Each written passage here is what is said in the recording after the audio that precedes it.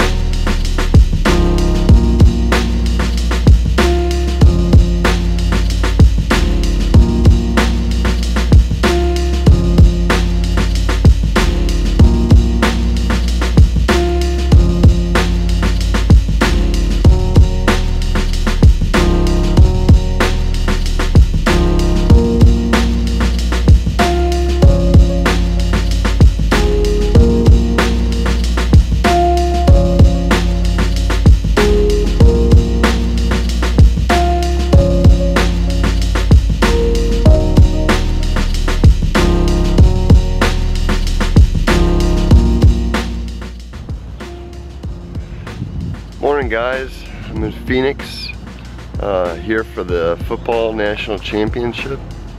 So we're gonna have some fun and uh, hopefully you guys enjoy. See you later.